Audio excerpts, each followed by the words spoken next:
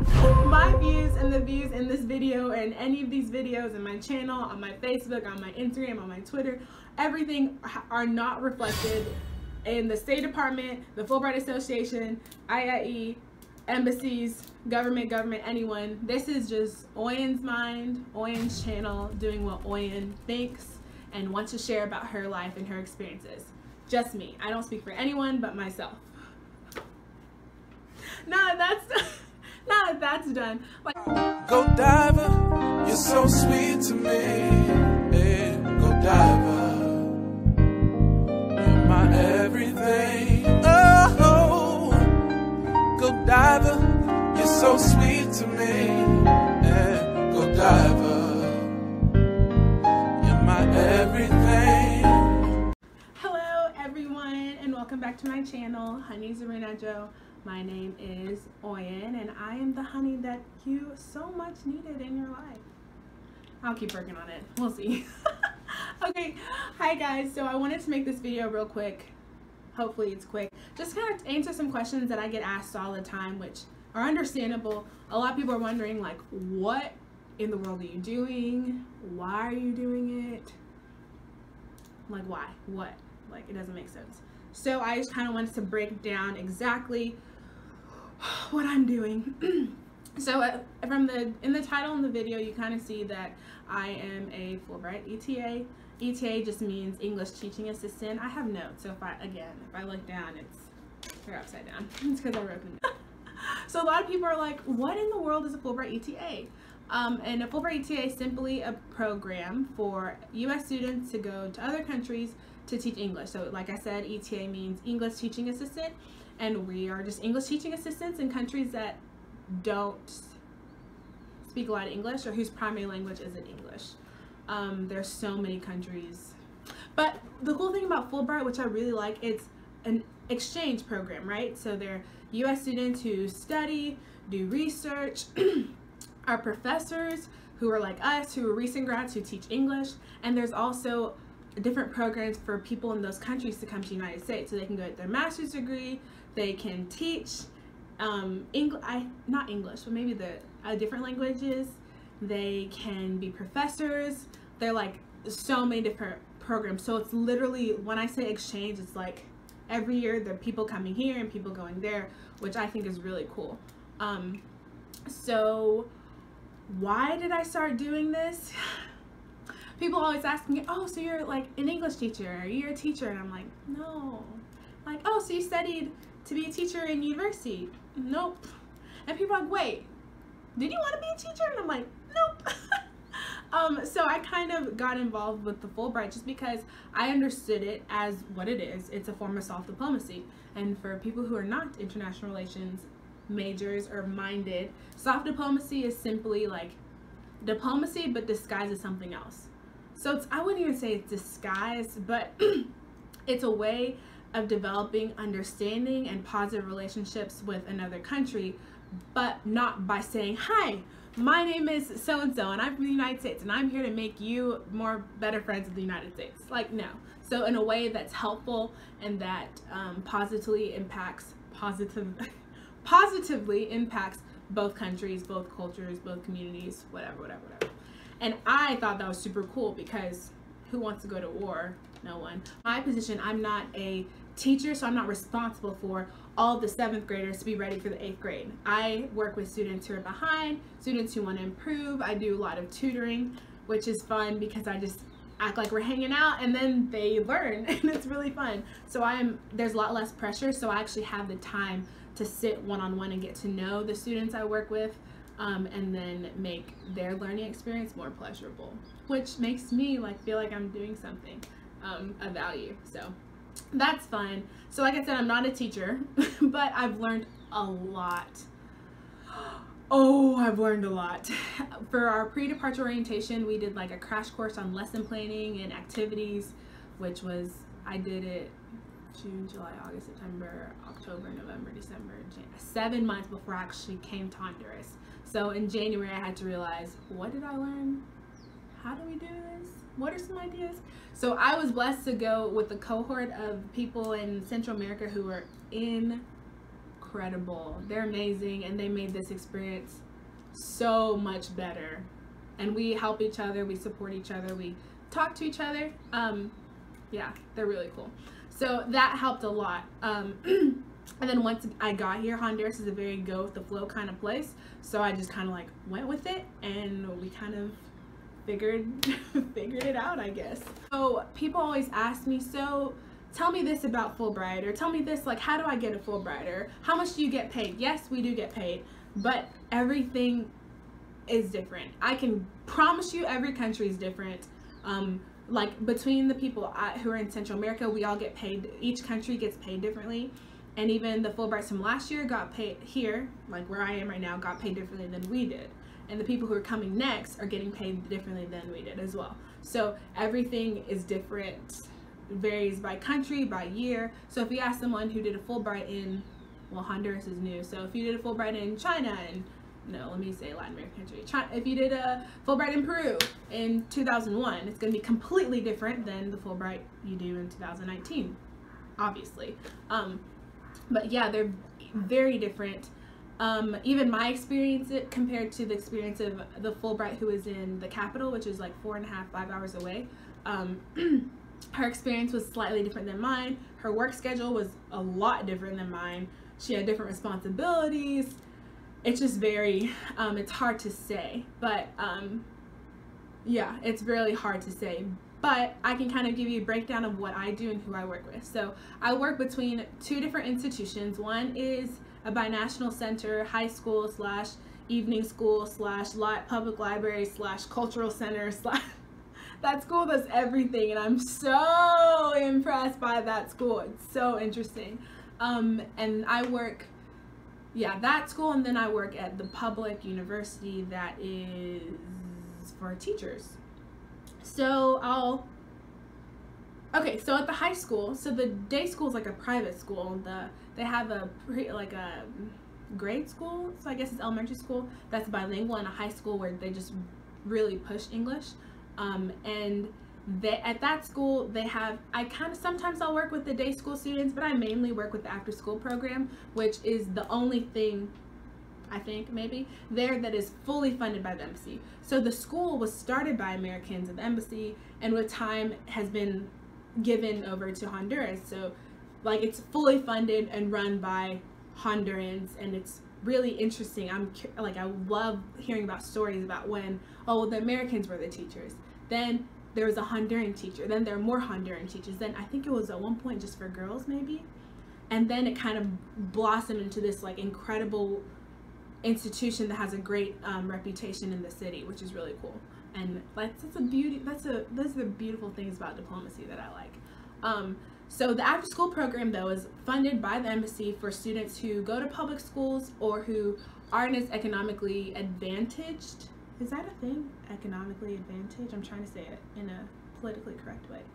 Who, okay, so students who are economically disadvantaged in some way, shape, or form um, who go to public schools and who are leaders and who are incredible and amazing and I love them and amazing and incredible and incredible and incredible and incredible and incredible. So they go through this application process, they apply, they have interviews, they get accepted, and it's to learn English. So it's called the English Access Micro Scholarship Program by the U.S. Embassy.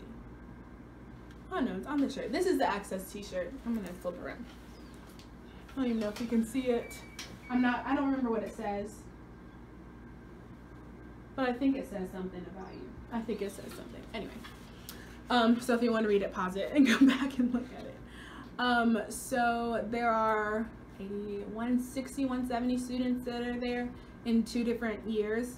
Um, and they learn English, but they don't just learn English, they really dive into different American cultural and values type thing, kind of talking about um, the differences between the United States and Honduras, ways that the United States is good, ways the United States is bad, ways that the Honduras is good, ways that Honduras is bad or can be better, and what they can bring to making Honduras a better place, which is amazing. Like they're gonna change the world. Um, and so they do a lot of leadership things they do a lot of volunteering, a lot of out after school programs. So the actual class day is from three to five because they have to do it after their school. Um, but they do so many things after. Like on Saturdays, they're there. In the afternoon, sometimes they'll go to the library and be doing different things. They're there in the evenings for performances. So it's way more than just two hours a day, but it's a very, I think, holistic experience for them. So I love working with them. And I didn't realize how much I like high school students until working with them. Like they just bring me so much joy. But I think they're special too. I think they're special. Whatever application process they have for getting these kids is great because I think they're incredible kids and they're easy to work with. Sometimes they talk too much. But other than that, so do I, right? Um, oh, at the university. So at the university, I like working with access students better if you can't tell. But at the university, I worked with the English program, I guess. And so I kind of assisted in the classes. Um, sometimes I would do activities, but that was mainly like teaching and class. And I'm not a teacher. I think I like being around young people and I like working on projects and I like making um, their lives better. But teaching is just a way for me to do that. So I teach because I want to accomplish X, Y, and Z with these kids. Um, but with the university, it was just teaching. I didn't really get connected with um, with the students as much. Maybe it's because I started with the high school kids, so I kind of like latched on with them, and then I started the university later. It just wasn't. I don't know. It wasn't. I was more of an English teacher, which, like And me, I'm not really an English teacher, but that's what I was at the university. So that's what I was doing, which was okay. It was cool. It's cool.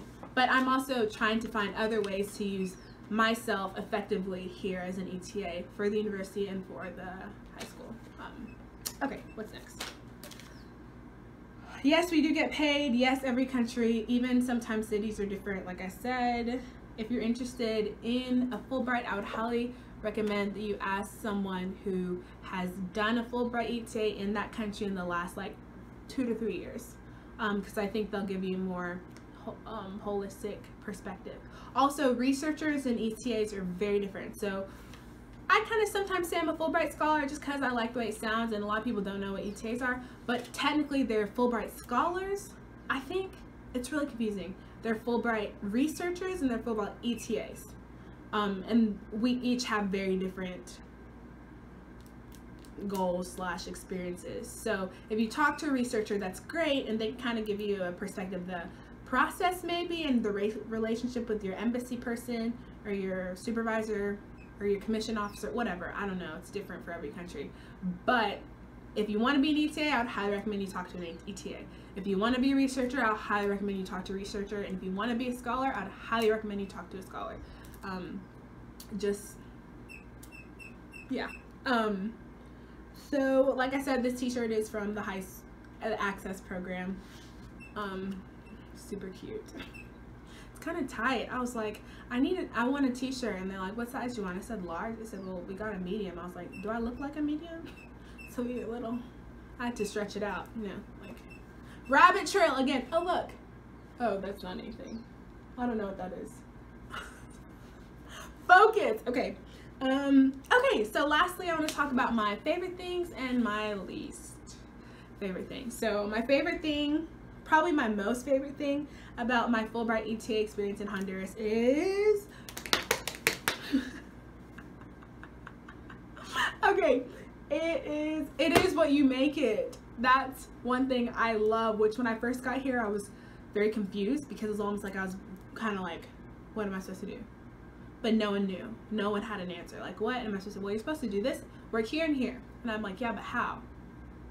You're supposed to work here and here. Yeah, but what times, where do I go, who I talk to? You're supposed to work here and here. That was all. And after that was like, go.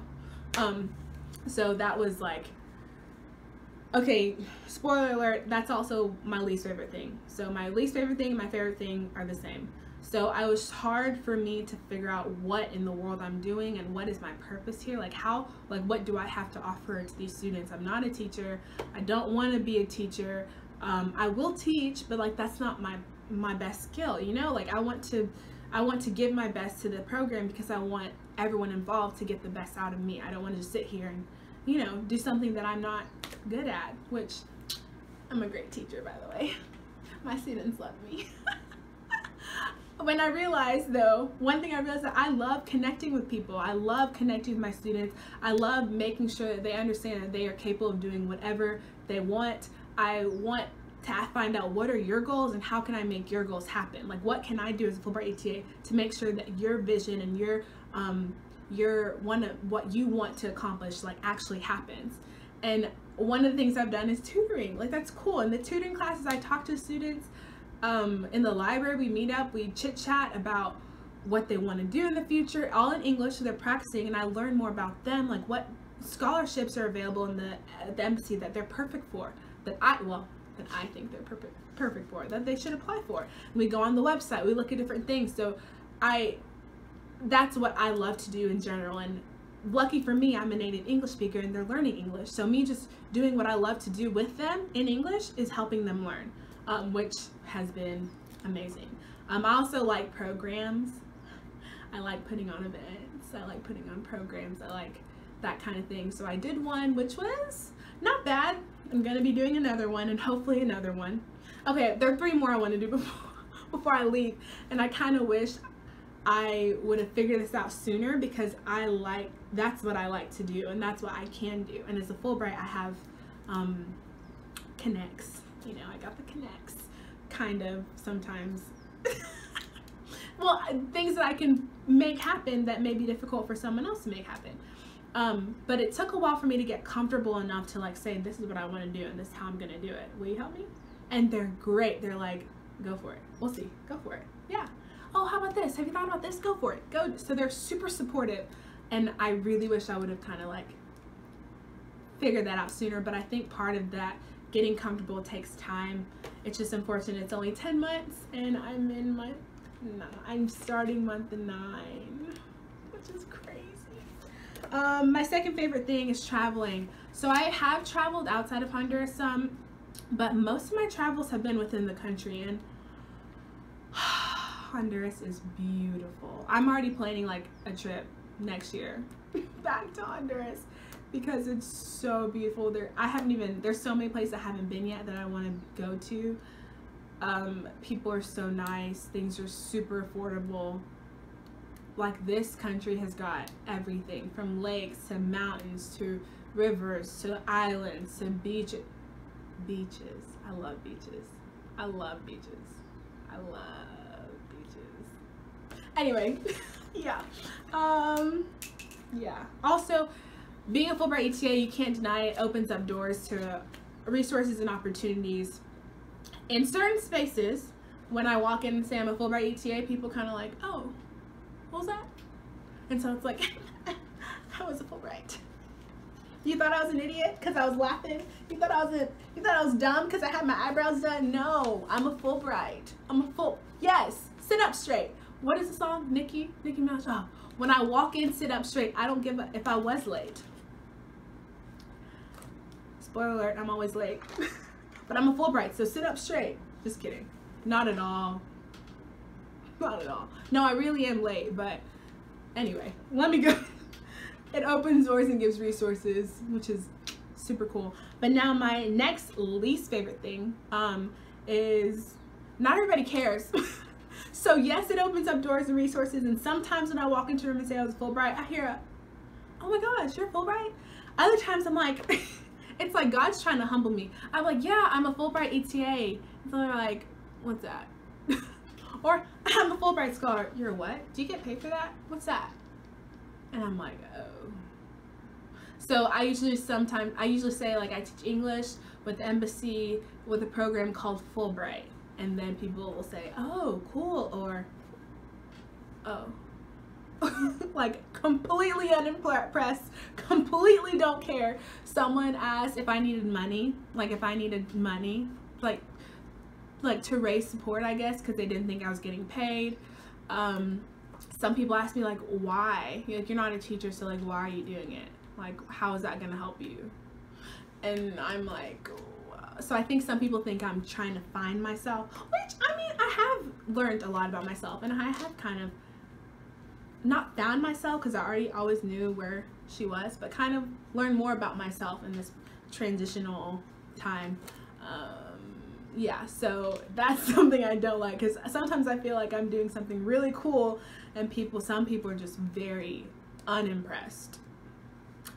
Unimpressed. And that really humbles you, you know, which is good. I think it's good. Um, the next thing I don't like about Fulbright oh it's it was difficult for me to kind of try to match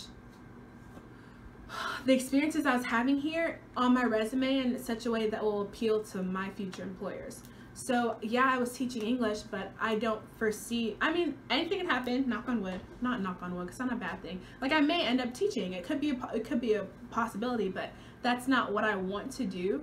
Um, so it's like I'm teaching English, but how is that gonna how is that going to benefit me in this job that I'm hoping to pursue next, you know? Um, but with time, I kind of figured it out. Like what, like I said, I love planning projects, um, being creative, being, um, taking initiative for those kinds of things. And it took me time to kind of figure out how I can word it on my resume that will be beneficial in the next job I have because I've learned so much and I'm still learning. And I know how I'm a better future employee because of this experience, but being able to kind of relay that to on my resume and in a cover letter was difficult, but I figured it out, and I think I think I got it. I think I got it. Um, yeah. So that's me. Wow, this video is a lot longer than I thought. I'm gonna have to edit. I think I hope I answered a lot of questions, so you kind of get an idea of like the day in the life of me. So, and you see my T-shirt. I'm gonna say no. I want you to get the full effect. There we go. So it's the American flag, it's the Honduran flag, and it says Estamos Unidos, which means we are united. Make sure you like and subscribe. Stay tuned for my other videos.